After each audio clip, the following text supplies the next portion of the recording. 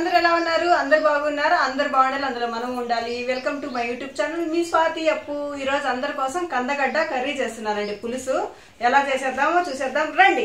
ఇవ్వండి కంద పులుసు కావాల్సింది వచ్చి ఫస్ట్ వచ్చి చేతులు ఉప్పేసి బాగా కడిగేసుకోవాలండి ఒక ఫైవ్ మినిట్స్ ఎందుకంటే కంద దొరద పెట్టింది కదా కాబట్టి. ఇంకా చింతపండు ఒక వంద గ్రాములు తీసుకున్నాను. ఇది కేజీ కంద. చింతపండు బాగా కడిగేసుకోండి. ఇదిగోండి చింతపండు శుభ్రంగా కడిగేసుకొని నానబెట్టేసుకుంటాము. ఎందుకంటే ఈ కంద అవన్నీ తరుక్కునేసరికి చింతపండు నానిపోతుంది అనమాట మంచి నీళ్ళలో వేసేస్తాను. ఇది పక్కన పెట్టేసుకుంటున్నాను. ఇప్పుడు కంద తరిగేసుకుందాము.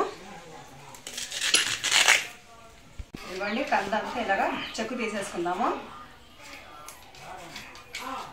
కంద కోసేటప్పుడు జాగ్రత్త అండి. చేతులు దొరదొస్తాయి కాబట్టి ముందుగానే మనం ఉప్పు నీళ్ళలో బాగా ఫైవ్ మినిట్స్ చేతులు కడుక్కోవాలి.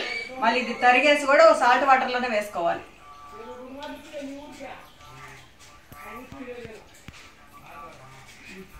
ఇదిగోండి కంద ఇలా చెక్కు తీసేసుకున్నాను వాటర్ తీసుకున్నాను.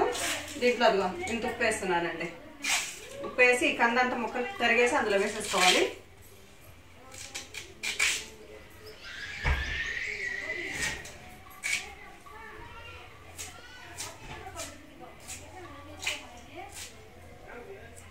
ఇంట్లో పెద్దగా వెంటిలేషన్ రాదు. బయటకు తీద్దామంటే ఇదిగో బయటకు అంతా గోల గోల. డిస్టర్బ్గా ఉంటుంది ఏదో లాగా కానీ తప్పట్లే.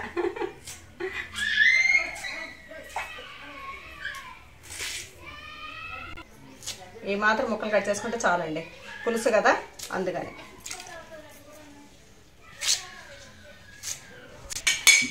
ఇదిగోండి తరిగేసుకున్నాను. ఇలాగ సాల్ట్ వాటర్లో వేసేస్తాను ఉప్పు నీళ్ళలో. ఇది కూడా ఒక రెండు మూడు సార్లు కడిగేసుకోవాలండి. శుభ్రంగా ఉప్పు వేసే. ఎందుకంటే మనం తినేటప్పుడు కూడా దొరదొస్తుంది కాబట్టి సాల్ట్ వాటర్లోనే ఒక రెండు మూడు సార్లు కడిగేసుకుంటే బాగుంటుంది. ఇదిగోండి కంద తరిగేసుకున్నాను. ఇప్పుడు స్టవ్ ఆన్ చేసేస్తున్నాను. ఇదిగోండి గిన్నె పెట్టుకున్నాను కదా ఈ కంద మొక్కలు వేసేస్తున్నాను. వేసుకొని కొంచెం వాటర్ అండి ఉడికించుకోవడానికి అనమాట ఎందుకంటే దీంట్లో వాటర్ వంపుకునేలాగా ఉడికించుకోవద్దు. ఆ ముక్కకి ఇమిరిపోవాలి వాటర్. అలా ఉడికించుకోండి. కొద్దిగా పోసుకోండి వాటర్. ఒక ఐదు నిమిషాలు ఉడికించుకుంటే చాలు.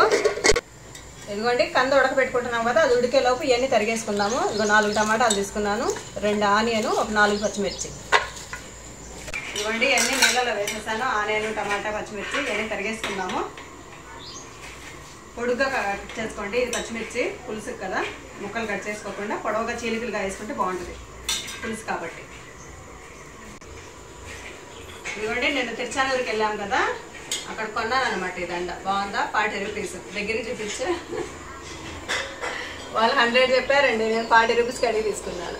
ఎందుకంటే వీటి కాస్ట్ నాకు తెలుసు. వీళ్ళు ఏంటంటే చెన్నై నుంచి తెచ్చేస్తారు అన్నీ ఒక లాట్గా వాళ్ళకి అసలు జస్ట్ ఒక ఫైవ్ రూపీస్ కూడా పడి ఉంటుంది ఇదైతే నాకు తెలిసి. ఎందుకంటే ఒకే లాట్గా ఇంత కవర్ తీసేసుకుంటారు ఒకేసారి. ఒక ఐటమ్ అంటే ఒకే కలర్ ఒక ఇంత కవర్కి వస్తుంది. అలా తీసేసుకుంటారు కాబట్టి వాళ్ళకి ఫైవ్ రూపీస్ అలా పడుతుంది అంటే వాళ్ళు హండ్రెడ్ చెప్పారు. నేను అయితే ఫార్టీ రూపీస్ కానీ తీసుకున్నాను.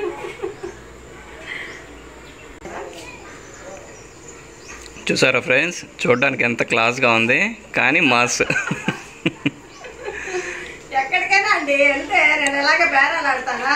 దానికి ఎందుకు ఎందుకంటాడు? ఎందుకంటే వాడి గురించి నాకు తెలుసు కదా. తెలుసు కాబట్టి నేను అడుగుతాను.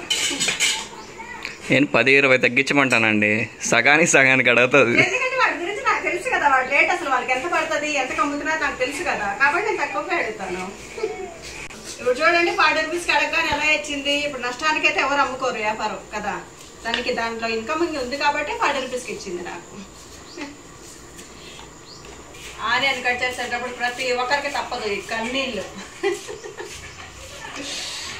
కళ్ళు కట్ చేస్తున్నారు కదా. అలవాటండి గట్టిపీట బాగా.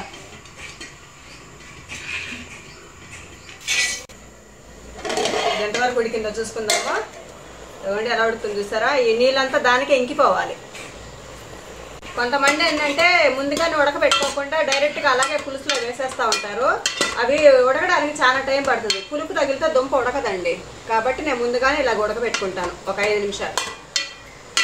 అంటే నీళ్ళన్నీ ఇమిరిపోయినాయి. స్టవ్ ఆపేస్తున్నాను. ఇప్పుడు ఈ ముక్కలన్నీ ఒక గిన్నెకి తీసేసుకుంటున్నాను. ఇదిగోండి కంద ముక్కలన్నీ ఒక గిన్నెకి వేసేసుకున్నాను కదా మళ్ళీ స్టవ్ ఆన్ చేసేస్తున్నాను. అదే గిన్నె పెట్టుకున్నాను. ఆయిల్ అండి కొంచెం ఎక్కువే పడుతుంది ఆయిల్. పులుసు కదా బాగుంటుంది అనమాట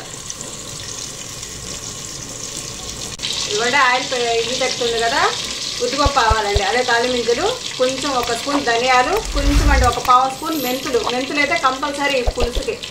చాలా ఫ్లేవర్ వస్తుంది. అన్నీ వేసేస్తున్నాను.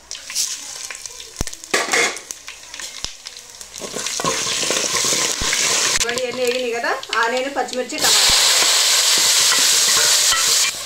ఇవ్వండి ఆనియన్ పచ్చిమిర్చి టమాటా వేస్తున్నాం కదా? తగినంత ఉప్పు అండి కర్రీకి తగ్గట్టు. ఇవ్వండి ఒక హాఫ్ స్పూన్ పసుపు. ఇవన్నీ బాగా మగ్గిపోవాలండి. ఇదిగోండి ఆనియన్ పచ్చిమిర్చి అన్ని రోస్ట్ అవుతున్నాయి కదా. మా చెట్లో కరివేపాకు అండి ఫ్రెష్ కరివేపాకు. భలే ఉంది స్మెల్ అయితే. ఇవే ఇది కడిగేసి వేసేస్తున్నాను. ఇదిగోండి ఇదంతా బాగా వేగించేసుకోవాలి. టమాటా చూసారా? ఎక్కడ కూడా కనిపించట్లేదు. బాగా మగ్గిపోయింది. ఇదిగోండి ఒక స్పూన్ ధనియా పౌడర్ పెద్ద స్పూన్ అండి ఇది.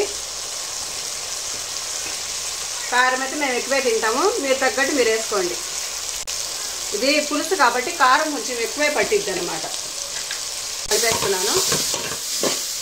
అది చింతపండు నానబెట్టుకున్నాం కదా ఫస్ట్. అదండి అది పిసికి వేసేస్తున్నా పులుసు. ఇవ్వండి చింతపండు అంతా పిసికామని ఇలా పులుసు పోసేస్తున్నాను మొత్తం పులుసు మొత్తం. ఇవ్వండి చింతపండు అంతా పులుసు పోసేసుకున్నాం కదా దీంట్లో. ఇప్పుడు ఒక్క కొంచెం ఉడకాలండి పులుసు. ఇదిగోండి పులుసు అంతా పిండేసుకున్నాం కదా. మూత పెట్టేసి ఒక రెండు నిమిషాలు మరగనివ్వాలండి. ఇదిగోండి పులుసు మరుగుతుంది కదా.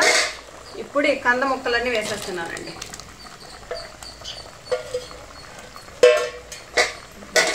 స్మెల్ అయితే చాలా బాగుంది. ఎందుకంటే ఈ మెంతులు ధనియాలు అసలు మంచి ఫ్లేవర్ వస్తుంది అసలు.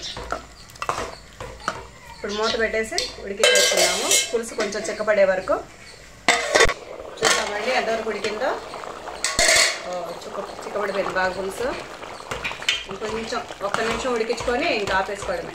దీంట్లో ఎండి చేపలు వేసుకుంటే కూడా చాలా బాగుంటుందండి. ఇంక ఈరోజు గురువారం మేము తినం కాబట్టి వేయలేదు. ఎండి చేపలు వేసుకుంటే ఇంకా బాగుంటుంది. పులుసు వచ్చేసి రైస్లోకి సంగడికి అయితే ఇంకా బాగుంటుంది. సంగటి చేస్తున్నాను కాకపోతే అది వీడియో పెట్టడం కుదరదేమో. చూస్తా ట్రై చేస్తా. సింపుల్ రెసిపీ అసలు టేస్ట్ అయితే చాలా బాగుంటుందండి. అసలు స్మెల్ చూడండి ఎలా వస్తుందో. చేపల పులుసు వచ్చినట్టు వస్తుంది స్మెల్. చాలా బాగుంటుంది. వేడి వేడి అన్నంలోకి సంగటికైతే అబ్బాయి ఇంకా చెప్పక్కర్లేదు. ఇలాంటి కార పులుసులన్నీ సంగటికే బాగా తింటాను ఇష్టంగా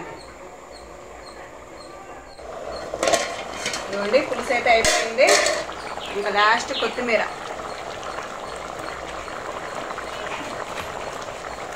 కొత్తిమీర వేసేసాను కదా ఇంకా స్టవ్ ఆపేస్తున్నాను. చూసారా ఎంత బాగా వచ్చిందో పులుసు? రైస్లోకి సంగటికి చాలా బాగుంటుంది. ఒకసారి ట్రై చేయండి బాగా. రెడీ అయిపోయిందండి.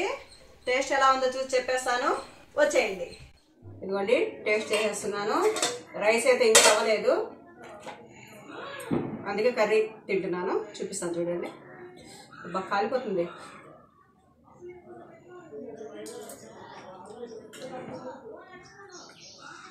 పుల్లపుల్లగా కారం కారంగా. ఇలాంటి కారం పులుసు నాకు భలే ఇష్టం. ఒకసారి ట్రై చేయండి. సింపుల్ రెసిపీ చాలా బాగుంటుంది టేస్ట్ మాత్రం. ఓకే అండి ఈ రెసిపీ చూసారు కదా? మీకు నచ్చితే లైక్ చేయండి షేర్ చేయండి మా ఛానల్ సబ్స్క్రైబ్ చేయండి పక్కన ఉన్న బెల్ గంట కొట్టండి. నెక్స్ట్ ఎపిసోడ్లో మంచి రెసిపీతో మళ్ళీ మీ ముందు ఉంటాం. మీ స్వాతి అప్పు. బాయ్ అండి.